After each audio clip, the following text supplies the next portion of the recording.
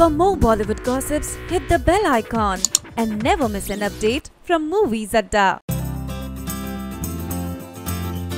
Yeah, you heard it right. Sunil Grover is gaining quite attention towards movie. Currently, he's doing a movie with Salman Khan where he's playing a friend of Salman, and so it is quite an important role. Now, the makers have decided to give a romantic space to Sunil in the film, and he will be seen romancing Nora Fatehi. After making audience gaga over her Dilbar Dilbar song, Nora had got a big gig to work in Bharat film.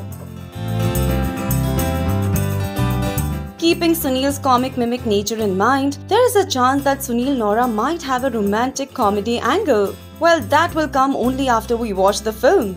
For now, we are happy to see Sunil Nora together.